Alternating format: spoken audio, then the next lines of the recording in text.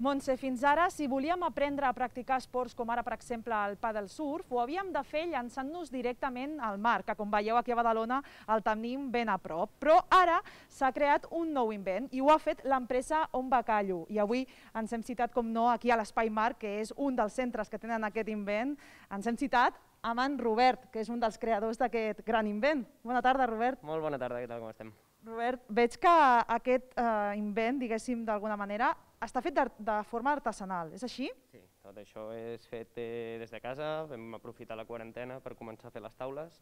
Ara és veritat que hi ha hagut una demanda i ja tinc un equip de gent, ho estem fent també tot de manera artesanal, però ja no és jo sol fabricant les taules, sinó que ara ja som un grup de cinc persones que les estem fabricant. Teniu un gran equip ara. Ara tenim un gran equip, sí. I quina acollida està tenint això?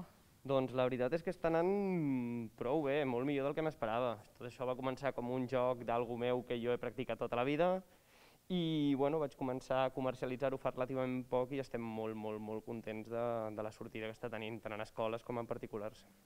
Mira, ara que la càmera ho està ensenyant, ens podries dir en què consisteix? Perquè veig que hi ha dos, diguéssim, dos parts. Sí. Bueno, l'embacallo el que consta és d'una taula, una planxa de fustes, una, un contraxapat de, de, de, de, bueno, de molta de categoria, diguéssim que és molt bo, és resistent, això pot resistir tranquil·lament 150 quilograms, i després el cilindre. El cilindre vam començar només amb suro, i ara és veritat que li hem afegit una tuberia de pressió, més que res per poder suportar tot tipus de pes. Llavors sí que ho hem forrat amb suro, ja sigui per donar-li el grip, com per també eh, donar-li la, la idea aquesta de producte natural. Clar, jo ara estava parlant que serveix bastant bé per practicar si vols fer paddle surf, però també suposo que hi ha altres esports. Hi ha algun més que digués mm, en aquest esport també serviria?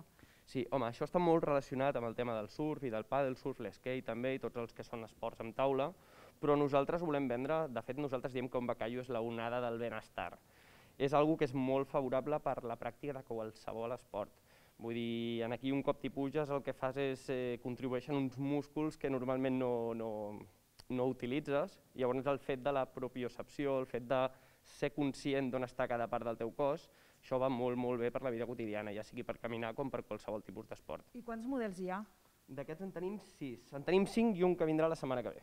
Molt bé. Et sembla que veiem com ho fas? Ho Perquè suposo que és una mica complicat, eh? Jo no ho tinc tot clar. Bueno, això A veure. una pràctica, jo sempre dic que en 20 minuts a sobre de la taula eh, Ja ho està. tens i ja et mantens. A partir d'aquí és començar a fer moviments, però això és una part molt fàcil. El principal és sempre el primer peu el que està a terra, Mhm. perquè si no caurem ràpid. Fiques el segon peu, llavors a partir d'aquí ja es fa l'impuls per agafar el balanç. Vale. Ostres. A veure, m'allunyo una mica per deixar-te una mica d'espai. I això, bueno, des d'aquí, inclús pots fer exercicis de musculació, si vols fer sentadilles... Molt bé. Sí que és veritat que dona la sensació una mica del surf, no? d'agafar la onada, No, no, i veient-te tu sembla molt fàcil, però després ho intentaré jo per acabar aquesta connexió. No, no sé si acabaré al terra, però bueno, mira, mentre tu estàs fent això, jo vaig a parlar amb l'Igor, que és el responsable d'aquí de l'Espai Mar, eh, una de les persones que es troba aquí i que, diguéssim, ha introduït aquest invent.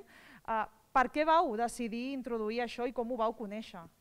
Doncs al principi ja, alguns ja teníem el coneixement d'algun tipus d'invent així per, per entrenar els músculs que fas servir després a l'aigua i vam intentar com crear un prototip nostre així molt artesanal fet aquí però, però no va funcionar, no, no va tenir èxit. Així que eh, vam contactar amb ell perquè es va presentar aquí degut a a uns contactes que tenim amb l'escola del Cantó i, i res, ens va presentar l'oportunitat de tenir els ombacallos aquí presents a Espai Mar i vam, vam, vam, vam dir que sí, vam anar de cap perquè ens, ens han, bueno, a mi m'ha agradat molt. Bueno, és el que li comentava. Sembla divertit, però també sembla una mica uh, difícil. Hi ha potser alguna persona que ho pugui utilitzar o està obert a tothom o, o com va això aquí? Aquí tenim dos que estan per utilitzar, la resta són per vendre, estan a la venda aquí a l'espai botiga i el, tenim dos models per utilitzar aquí amb el seu cilindre.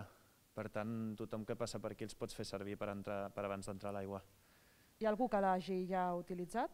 Sí, sí, sí, molta gent, molta I, gent. i que, que, quines sensacions té la gent? Bueno, al principi una mica de, de desequilibris, però s'acaba aprenent, s'acaba aprenent, amb una mica d'ajuda. Molt bé, Igor. Doncs mira, vaig a apropar-me al Robert a veure si puc intentar, Montse.